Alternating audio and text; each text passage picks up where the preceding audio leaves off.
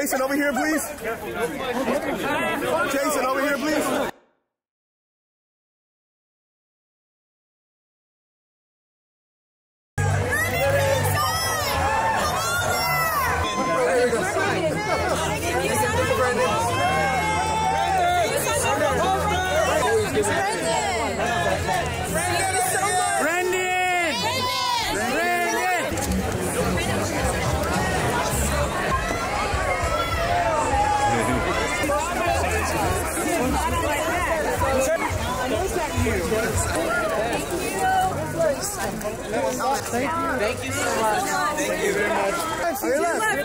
To your left. David, this way. We're fans over here. Over here. Over here. David, David, over here. Over here.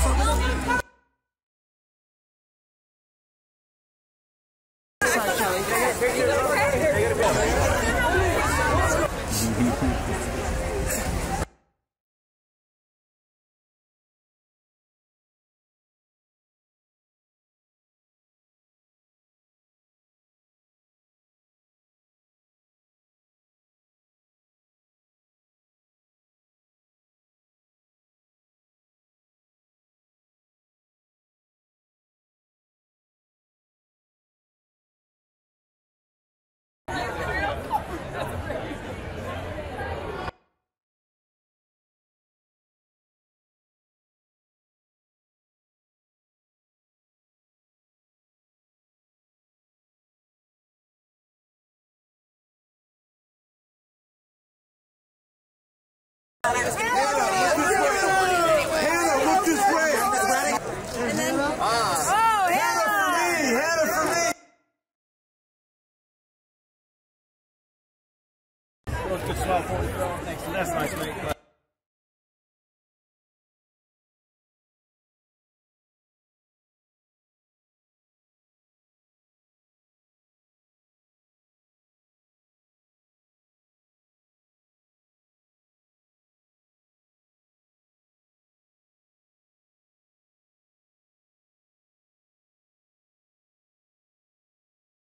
We love you, Billy.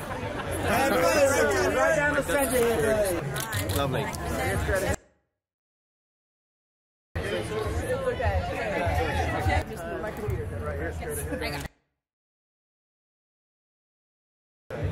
There, one more time. There it is. Now here, straight ahead. Sam up top. Sam on the right side.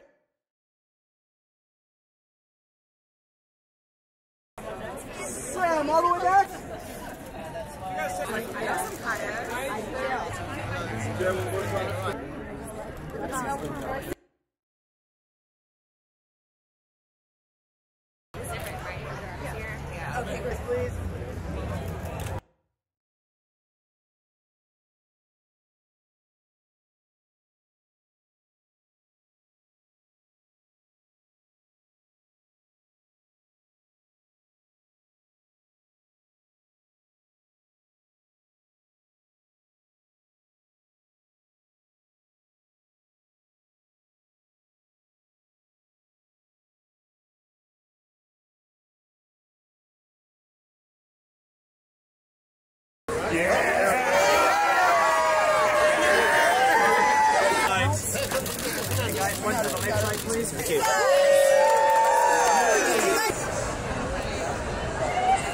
Brisbane till we die! That was so to say.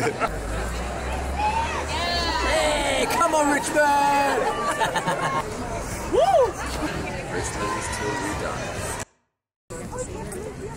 Fútbol is life, amigos.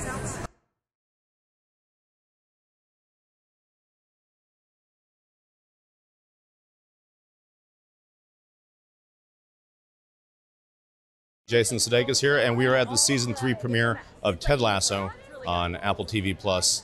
And um, yeah, welcome.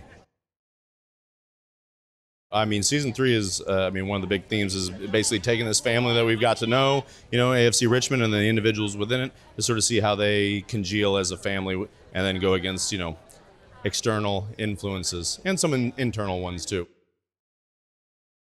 It's overwhelming to even when I deal with it in the, in the in the reality of it. And I see all the folks like showing up here. I was just like, oh my gosh, this is nuts. Uh, and them all yelling our names and, and knowing everybody's real names and the characters' names and having opinions about it.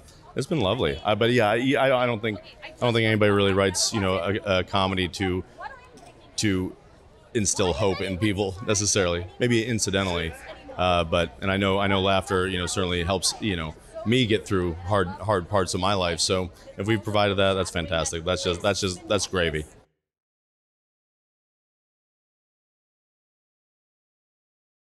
We come from an improv background, but um, when Jason was first saying to me and Joe Kelly, like, "Hey, we should make this a show," my first thought was like, "Oh my gosh, yeah, we just get up there and riff all day." Like, no, no, no, no, no. It should be 99% scripted. Like, oh, oh, and that has carried through. Still, we we do a little bit of ad libbing at like the end of a take, but uh, for the most part, the stuff is on the page, and we're being pretty faithful to it. People are realizing in this country that like they really haven't given soccer a fair shake, and uh, and now that they look at soccer in this way, they know they're wrong about that. What other things were they wrong about? And they're just they're opening their hearts, but it's all triggered by the beautiful game. A lot of people want to know about the football soccer lexiconical dichotomy, and uh, the answer is call it whatever you want because in this country we have a different football. So why would you call it football? It's just confusing. And over there they have just football, so they call it football. But they invented the word soccer, so that's not our fault. It's okay if there's a thing that has two names and a word that means two things. Call it what you want.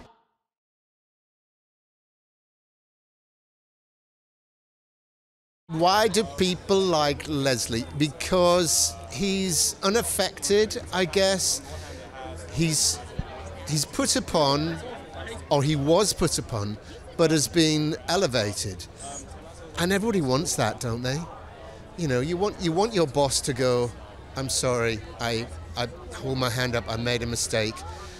Let's take you on a journey, you know. And so that's what happened at the end of season one, and so through season two, and I think really in season three, you see him getting into his stride and making decisions and being you know, authoritative and giving his folksy wisdom when it's called upon in the Diamond Dogs and what have you.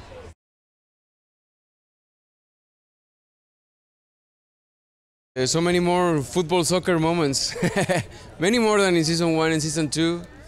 We saw how season two ended, and there's gonna be lots of rivalry with West Ham.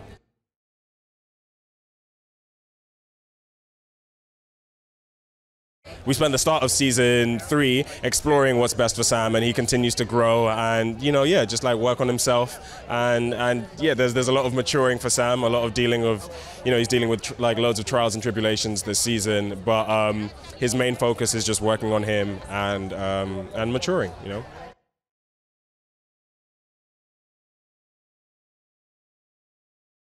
I think Mae takes no prisoners, and she's not going to give you an easy ride, but she has great. She's been there and done it and come back round the block a few times, I think. So she understands human beings. The boys call me the boss.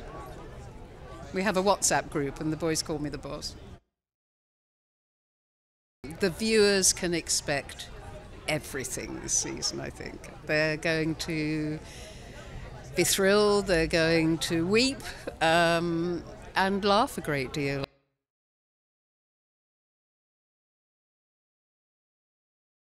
I think it's nice to, for us as a species to remind each other and ourselves about happiness and positivity and joy and all that stuff. You know, it's a little like it can get it can get forgotten about sometimes, and I think this show is a big reminder of that. So that's been lovely.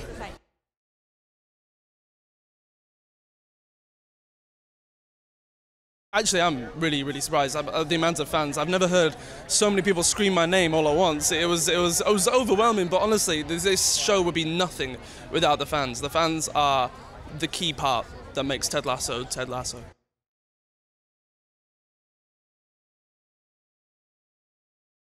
I think that Ted Lasso has resonated so much with people because it's really ultimately about love. It really is about love, and it inspires us to kind of be a better version or the best version of ourselves, you know? And also, it's brilliantly made. on every level. And each department just elevates all of it, all the way through. Like the editors, I mean, the whole thing, it's amazing. Yeah. I think it's going to really, really excite and delight and satisfy the viewers. I really do think so. But I haven't seen it, but that's my hunch. I can tell you that.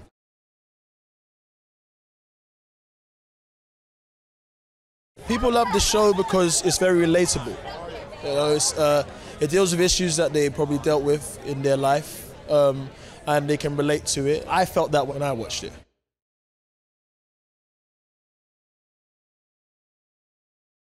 Why do people like Leslie? Because he's unaffected, I guess.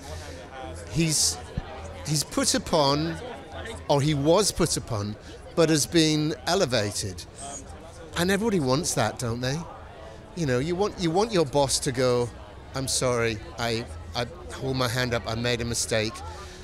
Let's take you on a journey, you know. And so that's what happened at the end of season one, and so through season two, and I think really in season three, you see him getting into his stride and making decisions and being, you know, authoritative and giving his folksy wisdom when it's called upon in the Diamond Dogs and what have you.